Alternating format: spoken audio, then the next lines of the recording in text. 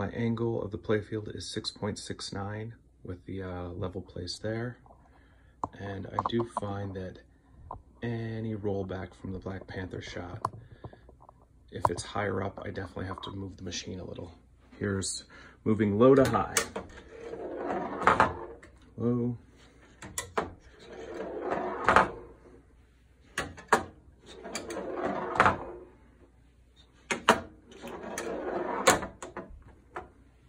Again, this is the where danger starts to happen. If it does catch that rubber, it will clear. If it doesn't,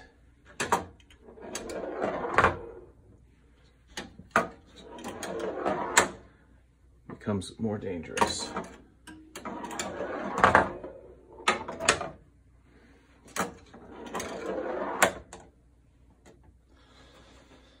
Hope that's helpful.